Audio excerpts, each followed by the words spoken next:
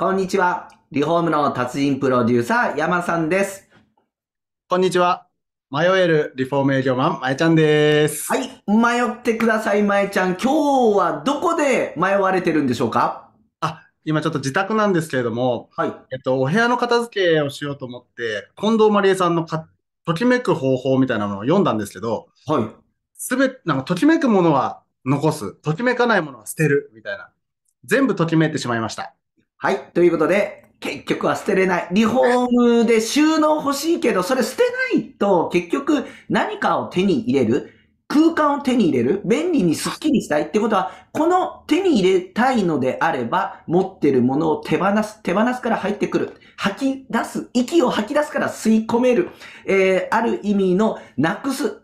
一回手に入れたものってなかなか使わないって分かってるけど、囲みたくなりませんか？いえいえ、そのあなたがそれ持ってるから入ってこないんですよ。ということで、今日は皆さんのそのリフォーム前の片付け、準備、何を始めたらいいのか、ここについて、まえちゃんとフォーカスしたいと思います。まえちゃん、ちなみにですけれど、リフォーム前の片付け準備で、まえちゃんなりに何か思うところってありますか？えっと、いつも、えっと、言ってるのは、えっと、まあ、大体、あの、お子様たちが出てとかいうきっかけで、あの、リフォームされる方とか多いんで、まあ、食器とかね、あのたくさん使わないものって、まあ、もらい物だったり、たくさん持ってる方多いので、これを機に食器を減らして、食器棚小さく買い替えるっていうのも手ですよとかですね。まあ、そういったことはよく話しますよね。まさにリフォームってライフスタイルの変化ですよね。えー保険の見直しってやられてる方、えーやはりライフスタイルの変化、えー子育てが終わり、そして、えー独立してということもあるように、リフォームも生活スタイルも、このあたり見直し、まさに舞ちゃんが言われたことなんですけど、今日やるのはさらに、その片付け、まあ実際に何をどう準備したらいいのか、まさにリフォーム前なんです。それからこれからリフォームするんです。もう商品は決まったということで、今日お届けするのは、この片付けについての初日の朝。こんにちは、山さん。ついに始まりました。この後レポートいただきました。ドン、ドン、ドンドン。綺麗に片付けてますよね。ドン。いきますよ。まず、片付け準備ポイントその1。物を減らす大チャンス。まあ実際に断捨離断捨離、釣り糸をなくしていいのも結局は引き出しになるっていうのもあるけど、物をなくすチャンスだからなんですよね。で、ここだと思うんですよ。結局山さんもそうですよ。毎日毎日思うことは住んでいるといろんなもの届きません住んでいるとなんか買ってきません住んでいるとあなたが生きてるだけで物って増えていくわけじゃないですか。結局は吐き出さないと入ってこないと物で溢れる。使わないものはもう断捨離。譲る、売る、捨てる。もう、思い切って捨てちゃってください。まいちゃんいかがでしょう？かこのあたり。そうですね。もう私もよく利あの利用してますけど、最近中古のああリサイクルショップとか増えてますよね。なので、そういったところにもう、もう捨てるぐらいなら10円、20円でも っていうところで持ってっちゃうっていうのは、あの、多いですよ。で、リフォーム会社によっては古物商のその、えー免許を取って、そういった、その、えーものを、えーどういう風な形で引き取っちゃうみたいなところ。リフォーム仕方層なんかそういった形のサービスにやられてるのでうんもしかするとそういった周りにあるととってもいいんではないかなという風に思っています。二つ目。片付け準備ポイントとしては、時間かかるんです。そうそう。だって、あなたはお仕事してる。そんな方も今多いんじゃないでしょうか。時間スケジュール。これとっても大切で、なぜ必要なのかというとですね、思いのほか、時間かかるんですよ。思いのほか、あら、タイミング、ゴミの収集日、大型ゴミということで、お仕事してるとわかります。なかなか日々日々のことでお疲れですよね。徹夜になりました。なんて声。まあ、じゃこれもうめちゃくちゃありません？昨日の夜大変でしたっていう声。はい。あのー前日、前々日もドタバタで、まあ、間に合わなかったっていうお客様も結構いらっしゃいました。そうなんですよね。ガチャって開けた瞬間に、職人ですよし、行こう。この、この図面で。はい、大丈夫ですね。もう大丈夫です。ガチャって開けた瞬間、ガチャって、どうした？物が、物が、ちょっと待って。奥さんすいません。あーあー、そうですよね。もう入れませんよねっていう。もう、えいや、これ嘘作り話じゃなくて、まあ、じゃあありますよね。実はい際に。。あの、搬入経路さえも、あのね、あの、あれ、現状に来た時と同じだぞっていう時もありますね。はい。ということで、こういった形で、ストーンと入ってないとですね、もう物が運べないという形で、仮置き作業スペース、通路、えーこちらの方も大切です。物が溢れていると、非効率的になりますよね。物があると、破損のもとにも、ガチャ、壁、あ、なりますよね。物が溢れるとどこに置いたらいいのかわからない。だからこそ、駐車場を開けておいていただく。これ結構大切なポイントになっていますね。えー、なんでうちの駐車場なのにと、あなたの家のリフォームするんですからね。っていうことなんで、駐車場は空いているとそこに仮置き、材料、それから切り場、雨があった時にも、雨の時に、えー、そちらでできたりとしますので、戸建ての住んでいる方、駐車場がそういったスペースになるんじゃないかなって確認しといてもらえるととってもいいんじゃないかなというふうに思います。片付け準備ポイント。4つ目。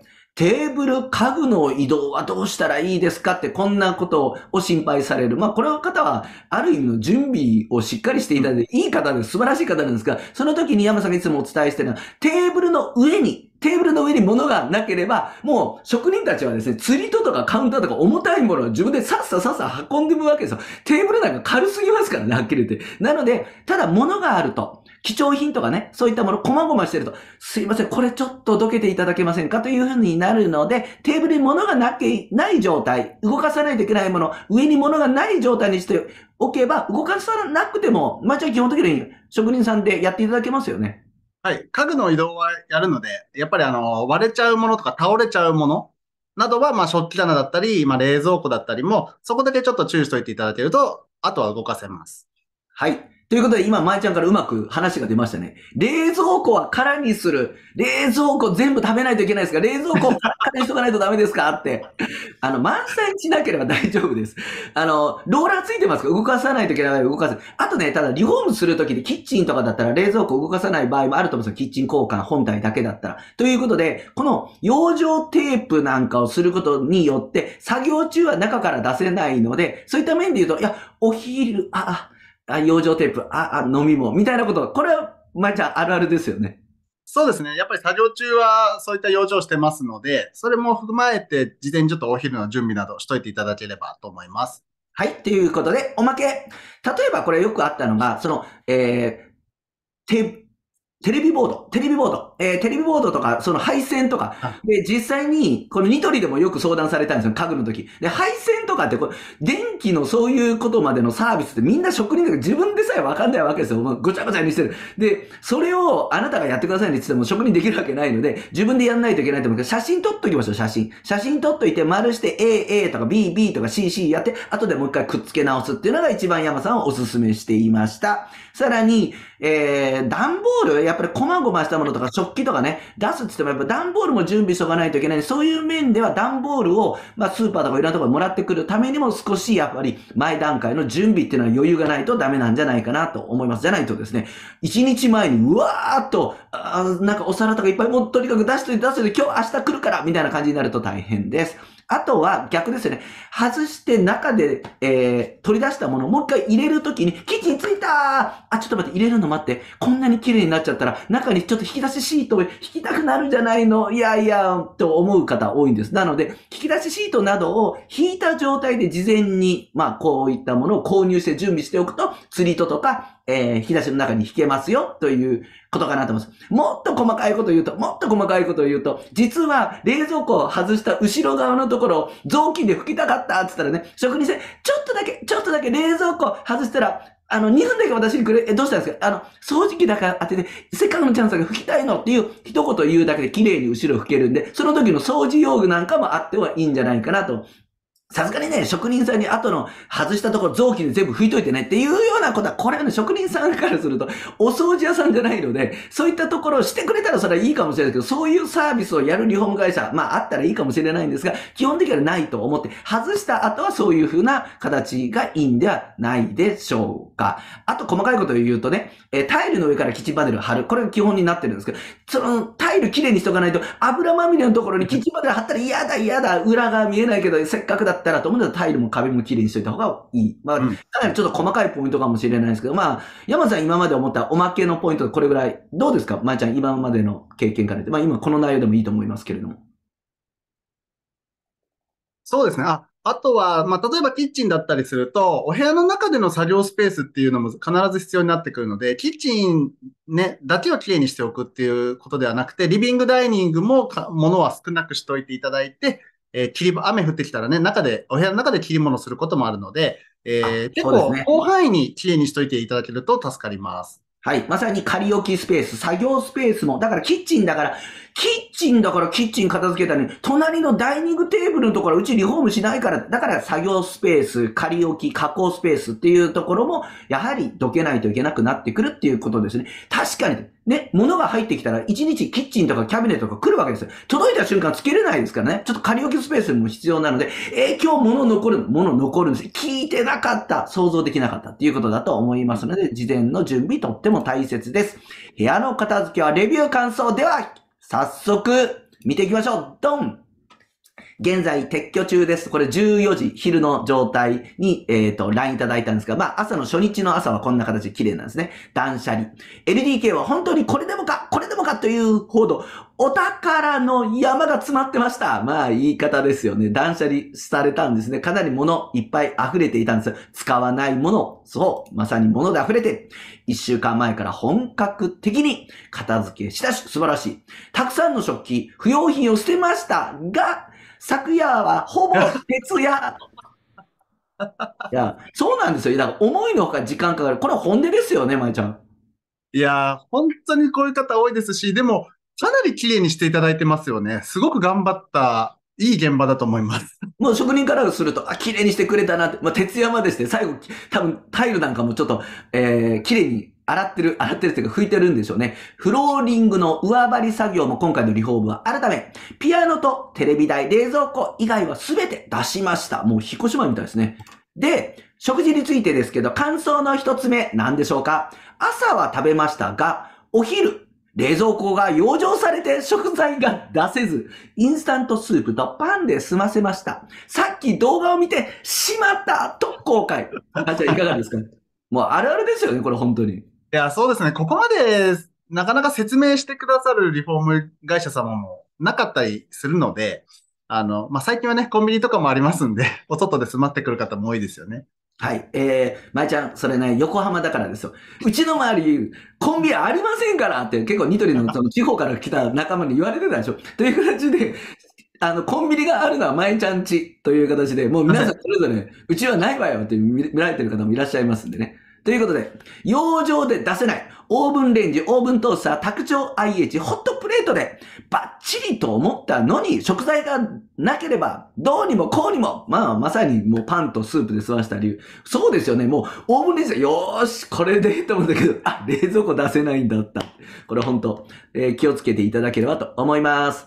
23年前のキッチンどうだったでしょうか？感想のその2、ハウスメーカーの23年前のキッチンでしたが、うちは扉の金具が取れ、扉のハゲはありましたが、本体、キャビネットのところですね、痛みはありませんでした。えーまた、サンウェーブのカップボードも、えー汚れ以外は全く痛みなしです。これよく言っているのが、キャビネットはステンレスじゃないとダメキャビネットはホールじゃないと絶対ダメみたいなことをね、なんか言ってる、えー皆さん、まあ、動画とか気をつけてくださいね。山さんは、あの、タカラの方も、えークリナップの方も大好きですよ。ですけど、キャビネットが絶対そうじゃないといけないっていことは毎回言ってますけど、そんなことありませんから。で、前ちゃんにも言言ってるんですよね。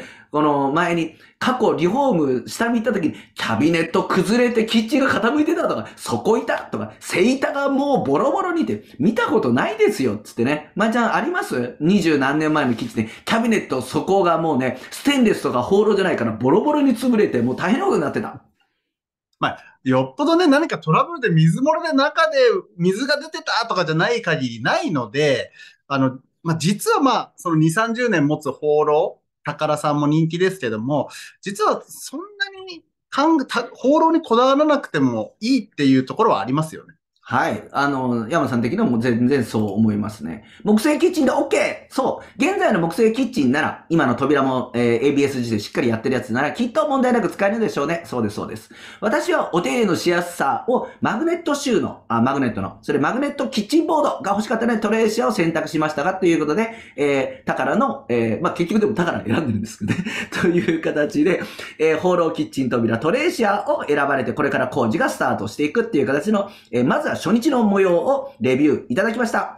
そして、なんといっても、えーレイアウト、設備が大事。最近のキッチンはよくできているからこそ、まあ、そう簡単に取り替えることもほぼないので、その上でキッチン選びやレイアウト配置など、設備などの計画が大切ですね。いや、おっしゃる通りですよね。そう、ボンボンボンボン変えないからこそ、やっぱりレイアウトって基本のキーなんですよね。そして何の設備を入れるのか、食洗機つくのか、えー、レンジフードはどれで行くのか、食洗機はどうなのか、機器は浄水器はタッチですわっていう形かと思います。まあ、ちゃんもやっぱり使い勝手の面で言うと、レイアウトポイントになってきませんか？こういった面で言うと、リフォームにおいては。そうですね。あの、ちえー、実際の設備機器以外でもですね、あの、テレビの配線、テレビを、え、接続できるところが今まで決まってたからテレビ台の位置こっちだったけど、本当はこのレイアウトこっちに持ってきたかったんだよねっていうのもね、あの、リフォームのタイミングでそっちに配線を持っていくっていうこともできますんで、えー、とても大切なことだと思います。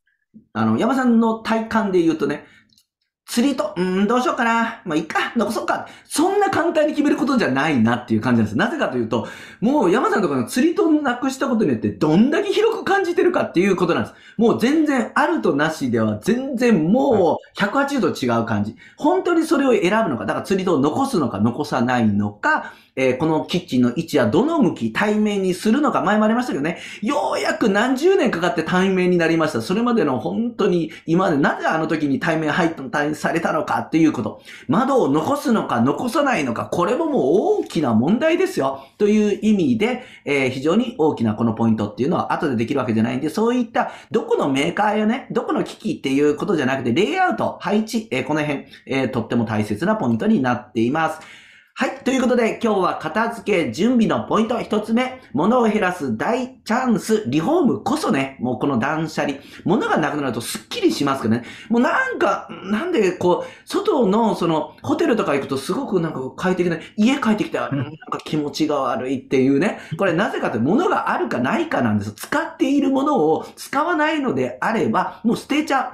その、えー、判断ですけどね。再調達コストと、比べてください。再調達できるんだったらもうない方がいいということなんですよね。ということで、まあ、例えが合ってるかもしれませんが、山さんが、えー、家にお酒ビールを買わないのはですね、その日飲むもんしか買わないというか、そうすると、ね、あれはいっぱいこう、再調達するから物がいっぱいにならないじゃないですか。そういう意味で、もう外でいるものは別に、いや、これいつか使うかもしれません、つってね、ずっと何十年そこにあって、あらー、あげると言われたりする、まあ、もう本当は実家から送ってくる、そういう内容もありますけれども、そうすると、使わないのにまた捨てれなくなっちゃったりしてね。ということで、いるだけ、生活するだけで物は溢れていきます。だから、このチャンス逃さないでください。あとは、スケジュール、そして、えー、仮置きのスペース、そして、家具の色、貴重品。これも、貴重品もね、これ、あの、皆さんそういった面で言うと勘違いもあるかもしれないので、必ず貴重品のものについては、えー、リフォームの時に、えー、置き場所、しっかりとしといていただくという形にしていただければ、そのリフォームの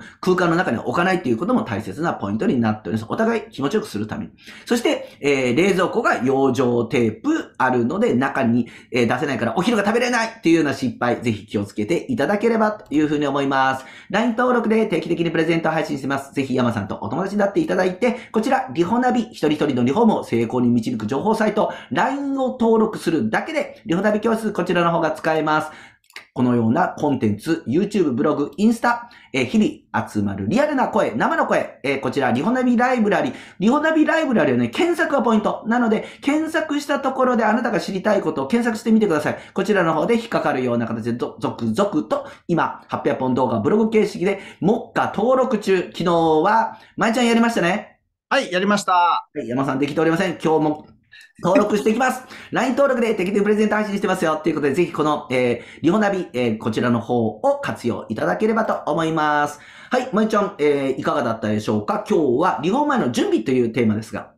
そうですね。えっ、ー、と、準備できれば、まあ、ご自宅にもよりますけども、もう1ヶ月ぐらい前からちょくちょく始めていって、えー、もう2週間前からエンジンかけてっていう感じで、えー、やら、もう前倒しに越したことはない。あとは、え捨てる捨てないは、まあ、よく言うのが、1年間使ってなければ、あ捨ててもいいんじゃないかっていう判断もありますので、それをもとに、えー、しっかり断捨離していただければなと思います。はい。もうまさしくそうですね。1ヶ月前にはあった方がいいですよね。だからフルリフォームだったらもっと前かもしれませんけどね。ということで、ぜひ素敵なリフォーム、えー、成功させるための準備の、えー、内容として参考にしていただければと思います。いきますよ。せーの。必ず、できるいってらっしゃい。片付けてね